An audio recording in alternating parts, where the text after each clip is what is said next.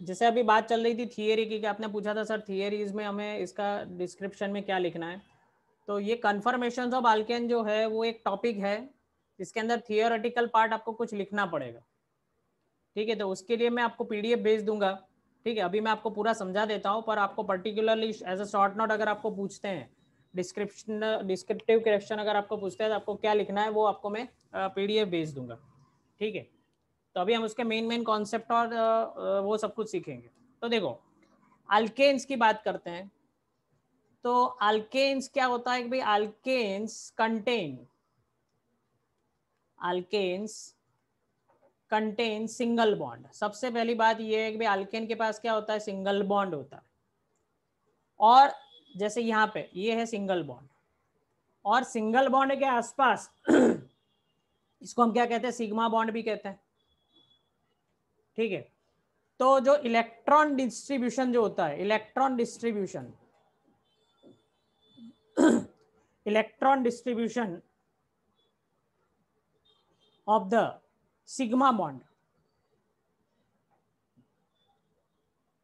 electron distribution of the sigma bond is symmetrical is symmetrical around the internuclear axis. Around the internuclear axis. मैं इसलिए आपको slow बोल रहा हूँ आप चाहो तो मेरे साथ लिख सकते हो। Around internuclear axis of C single bond C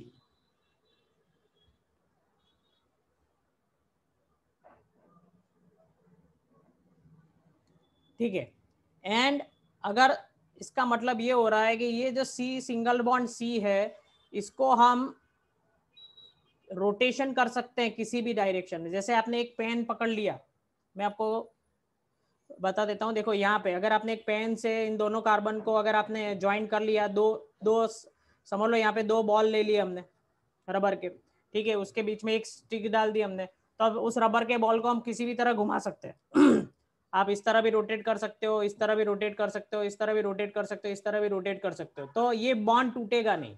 यानी इसके आसपास का जो स्ट्रक्चर होगा वो टूटने वाला नहीं है। यानी इसका, इसके यहाँ पे जो इलेक्ट्रॉन डिस्ट्रीब्यूशन है, इसके अराउंड वो कोई उसमें, उसके अंदर कोई डिस्टर्बेंस नहीं आए।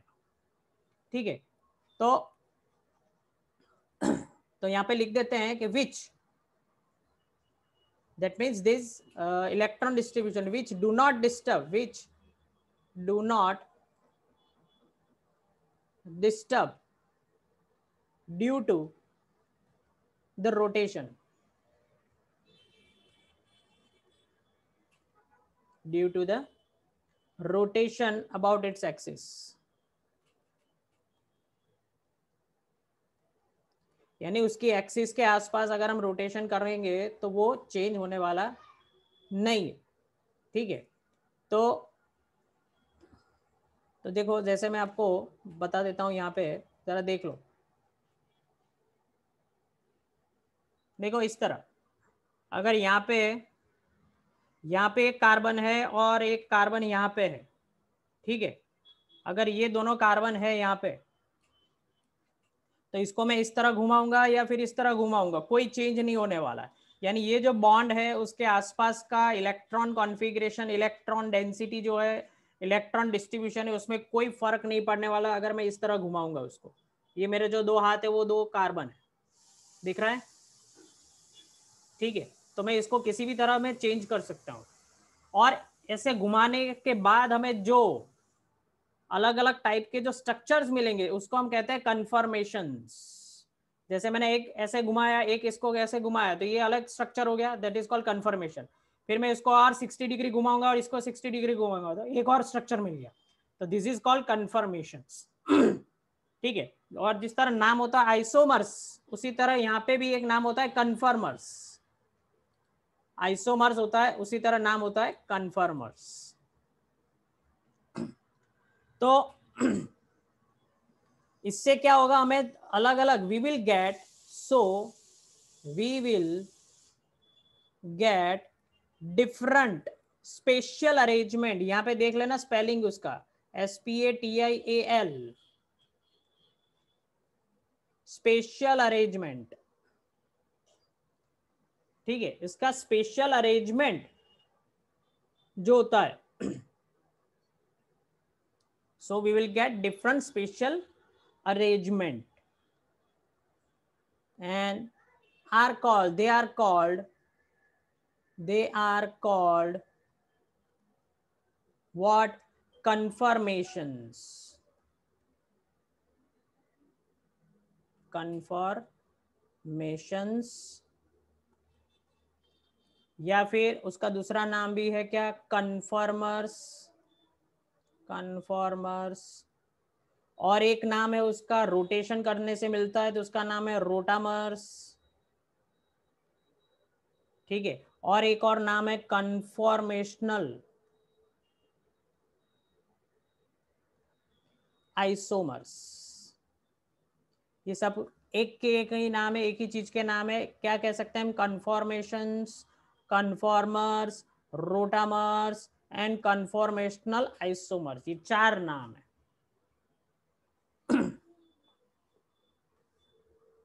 ठीक है? लिख लिया इतना?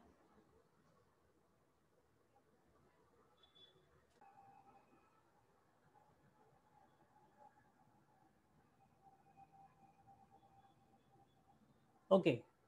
तो आगे देखते हैं, उसमें देखो, आपको यानी ये फिर से मैं समझा दूँ कि सपोज़ ये C single bond C alkane है, उसके आसपास भी बॉन्ड होंगे। ठीक है, अगर इसको हम रोटेट करेंगे, इस बॉन्ड के आसपास हम इस कार्बन को रोटेट करेंगे तो ये जो आपके ग्रीन कलर के जो हाइड्रोजन के बॉन्ड है, उसके जो नेबरिंग बॉन्ड है, वो थोड़ा सा इसके ऊपर, ये जो कन्फर्मेशन है, उसके ऊपर थोड़ा सा स्ट्रेन प्रोवाइड करेगा। क्या प्रोवाइड करता है? स्ट्रेन प्रोवाइड करेगा।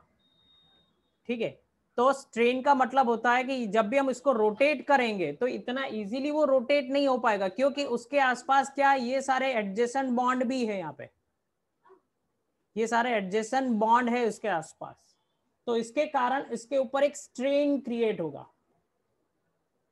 यानी वो स्मूथली रोटेट नहीं हो पाएगा। इसको हम कहते हैं टॉर्सियोनल स्ट्रेन टॉर्सियोनल स्ट्रेन।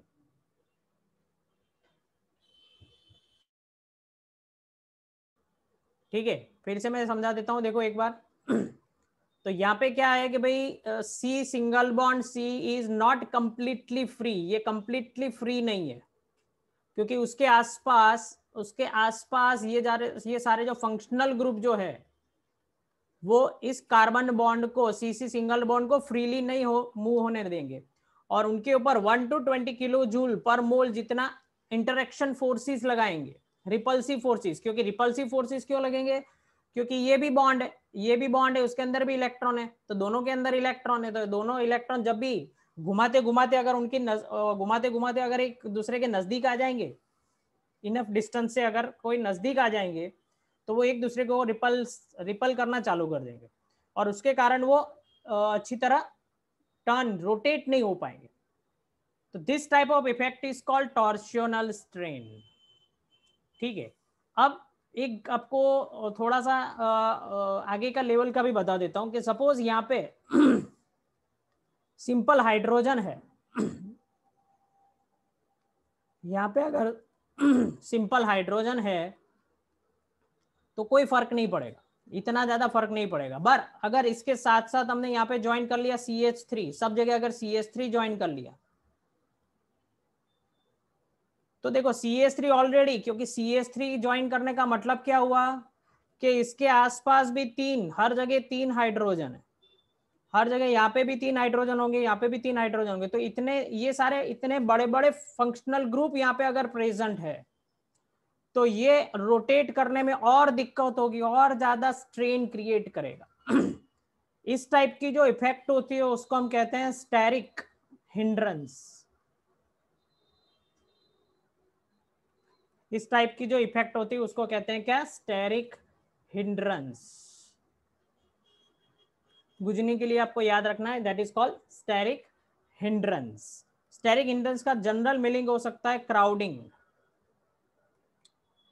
ठीक है that is meaning is crowding तो इसके बारे में बार बार आता रहेगा, अपने शॉर्ट नोट्स में, हमने, हमारे कॉन्सेप्ट में, तब और ज़्यादा इसके बारे में सीखेंगे कि स्टेरिक हिंड्रेंस कैसे अफेक्ट करता है बॉन्ड लेंथ को बॉन्ड एंगल को, सब कुछ देखेंगे स्टेबिलिटी को, ठीक है।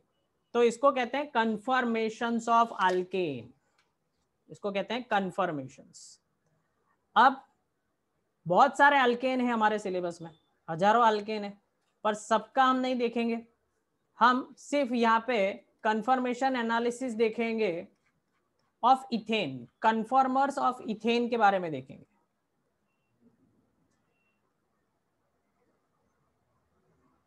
अब हेडिंग डालना चाहते हो तो डाल दो। कंफर्मेशन ऑफ़ इथेन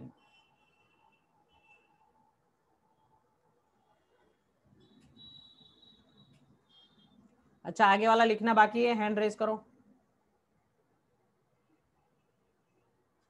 चलो जस्ट अ मिनट में रिवाइंड वापस कर देता हूँ, आप लिख लो। तो स्टूडेंट्स अब हम बात करेंगे कन्फर्मेशन ऑफ़ इथेन ठीक है इथेन का सी सिंगल बॉन्ड सी से रोटेशन करते हुए में क्या क्या कन्फर्मेशन कैसे स्ट्रक्चर मिलते हैं, उसको हम डिस्कस करेंगे। तो उसमें सबसे पहला होता है sawhorse projection sawhorse projection and the second is called Newman projections.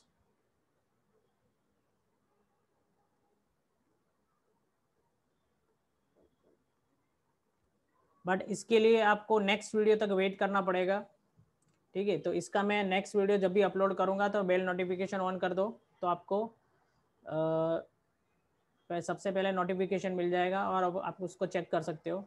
और हमें सपोर्ट करने के लिए ज़्यादा से ज़्यादा हमारे चैनल को शेयर करो और सब्सक्राइबर बढ़ाने के लिए ट्राई करो, जिससे हमें मोटिवेशन मिलता है। और आपके जो सजेशन आते हैं, उसके, उससे भी हमें मोटिवेशन मिलता है, कहाँ पे करेक्शन करना है, कहाँ पे और आपकी डिमांड क्या है, उसके हिसाब से हम वीडियो बनाते हैं। Thank you very much for the support goodbye students